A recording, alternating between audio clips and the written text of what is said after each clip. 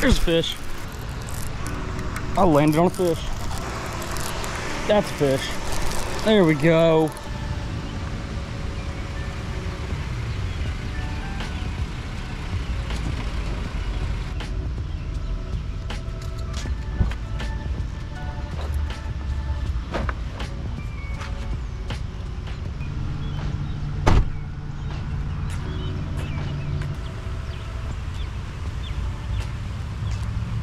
What's up y'all? Welcome to today's video.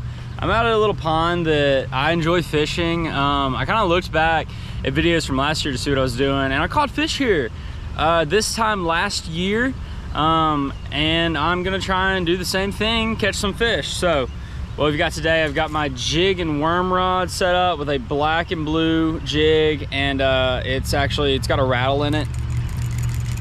I don't know if you can even hear that, but We've got a black and blue chatterbait today. So basically I'm fishing a pretty dirty pond. Um, we're gonna need to stand out a good bit today if we wanna get bit, but it is the morning time. It is about, it is 6.47, okay? And I'm about to start fishing.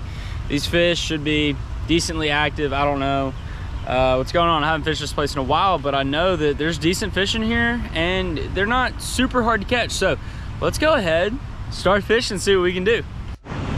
All right, start fishing. I'm gonna start with the chatterbait so I can just cover ground, see if there's any kind of reaction bait going on. We're throwing it on my Shimano Curado uh, 200 HG um, on my Abu Garcia Veritas Tournament Edition. Um, this is a medium heavy action rod and I kind of just want something seven foot, medium heavy so that I've got some backbone to set the hook on that chatterbait, but also some flex so I can make some good casts and uh, get some good distance on those casts as well.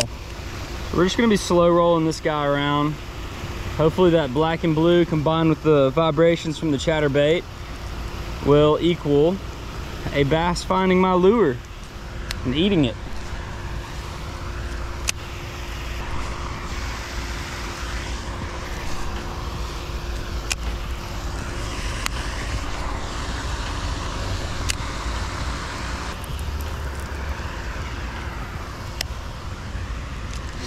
All right, when I've covered kind of the area with the chatterbait, I'll probably just pick up the jig in each spot. This is, let's see, it's a Strike King jig that I found. I think it's like a hybrid jig, but hope you can hear that rattle. And then I've got this Berkley chunk trailer on the back. I've never really used a chunk kind of trailer for uh, my jigs, but figured, hey, what's wrong with the little little scent, that Berkley power scent, you know what I'm saying? And I've got this on my Daiwa Tatula um, Gomexus handles, those are nice. And then the G Loomis GCX jig and worm rod. It's a seven foot one uh, fast action rod. It is a beef stick. And when I'm working this, I'm gonna keep it on the bottom, but kind of just make sure I'm making that jig rattle. So probably pop the tip, shake the tip a lot. Just kind of hop it along like it's a little crawfish. Right now, I just kind of want to hit this corner and then we'll probably move along. I've seen some fish activity down there, um, but I'll pull the jig out when I see some cool structural spots. Um, you know, trees that are hanging over the water like this once the sun is up. Cast down this wall. Okay, let's keep moving, see if we can find some fish out here.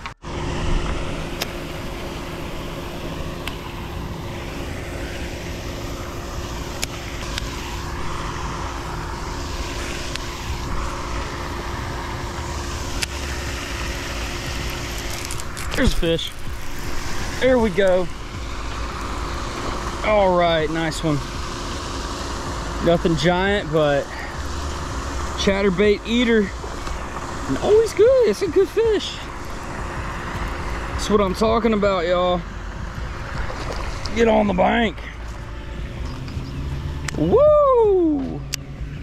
Look at that. Chatterbait chunk black and blue. That's what I'm talking about, y'all. That didn't take too long at all. I kind of fished my first spot, walked down the bank a little bit. Urgh, he's pinned. Got that out.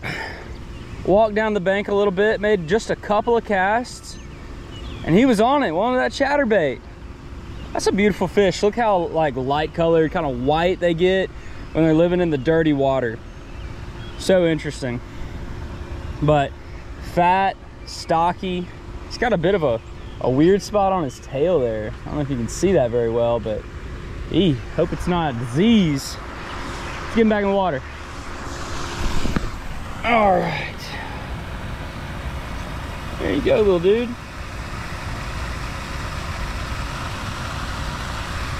There goes. All right, first fish of the day. Plan is kind of coming together. You know, it's not taking too, too long and the fish are biting, but we've got a small window of the sun not being up, so we got to get another line in the water, keep fishing. All right, first fish down. I was just throwing over uh, towards that concrete wall. Seems like this little, this bend right here, this little pocket, it, it'll hold a fish every now and then. Always got to fish it when I come though. So. Well, that gets me excited. It gives me hope. You know, summer can beat you down. Don't know if it's worth it being out here or not until you got to come out here and find out is the thing. But hopefully we can put together three or four, maybe five catches today in a short amount of time. Fish just broke the surface there. Don't know if it was a bass, but I'm seeing activity, which is a great sign compared to, you know, some of the other times I've been fishing recently. Okay, I like this spot. these two different corners here that usually well i don't want to say usually but i've caught fish in both these corners before this is right before water spills over into the pond i've been fishing so this is kind of where like the second pond starts but this corner they just kind of like stack up in it sometimes. It must have some structure or something. They just like the walls where they meet and all that. But we do have a funky green something on the water today that i don't know i don't know what to feel about. About this time sometime in the summer last year we were having a lot of fish kills the same time that this stuff was showing up in some of the ponds. And I didn't know if it was like a toxic algae bloom or not but it's back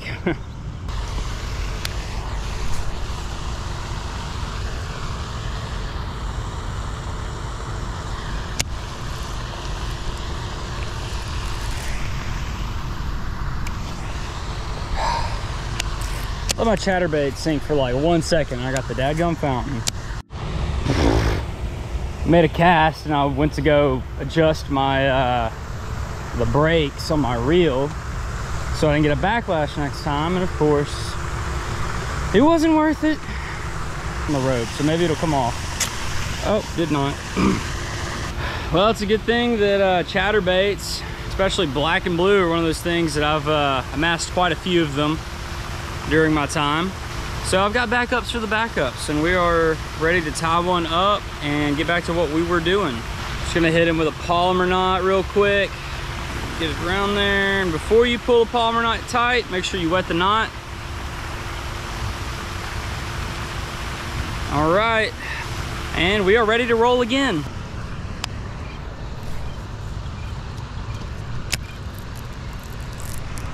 I landed on a fish bounced it off the wall. Right into a fish's mouth. Wow. Fish number two on the black and blue chatterbait.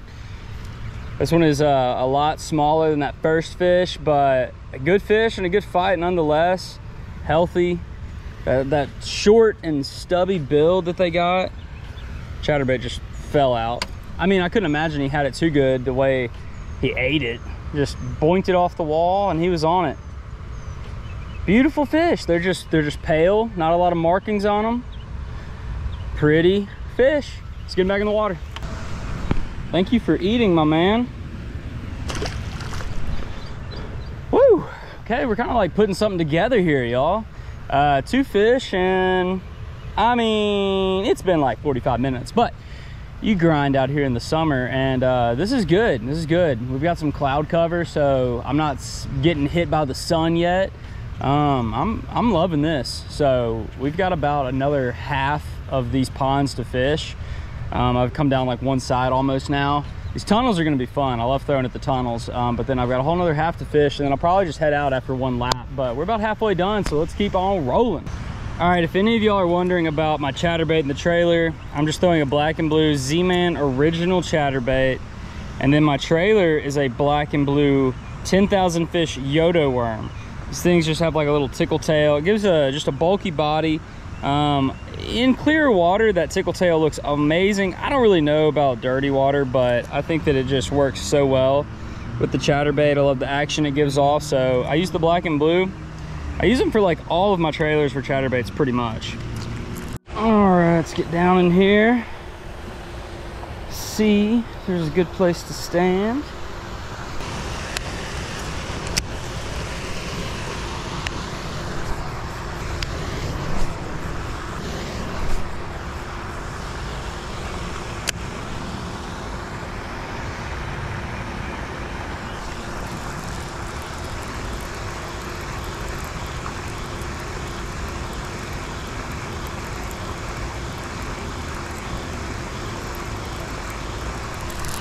That's a fish. There we go.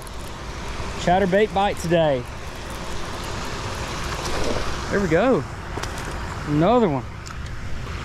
Fish number three on that chatterbait. Look at them. Cookie cutter bass. And they hungry today. oh, it's good to find some active summertime bass in these ponds. That gets me excited. Let's go. Thank you so much, my man. Back into the, the chalky milk. Y'all, we're, uh, we're catching fish. We got three. If we can get five, that'd be crazy. I'd be back here a lot. Remember, if you want to know the location to every video that I fish, check out my channel membership option, the Pond Hoppers Guide to DFW. If you become a member of that, I will give you access to the location of every video I post on YouTube. So check that out. I have a link in the description. Let's catch some more bass. Turning out to be a pretty good little morning out here. I always wonder how big the bass are in here because I catch so many in the like two pound range. But I don't really, I have never caught anything over like four pounds out of here, I don't think. Caught a few threes, but a lot of like two or high one pounders. Let's get jiggy with it.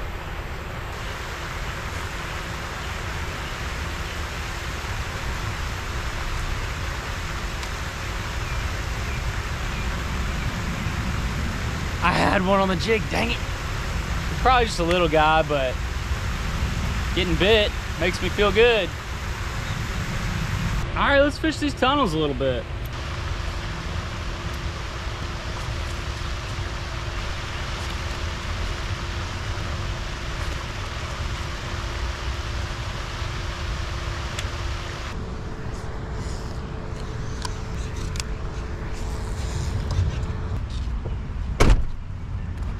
Okay, so a few things about summer bass fishing are starting to come back to me now. When you're fishing these ponds, I'm starting to remember that ponds are different with the different seasons of the year.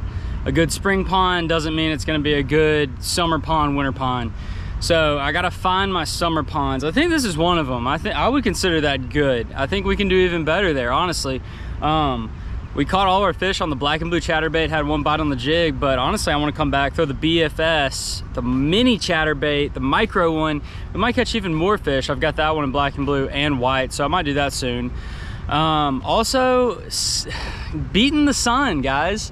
Um, whether that's getting up early or we've got early and overcast today. The overcast helped a ton. So I was able to stay out here a little longer. Um, it's not too terribly hot right now in Texas. Uh, a few days from now, in the middle of the week, we're gonna be having 103, 104 highs. Right now, it's probably like a 95 high.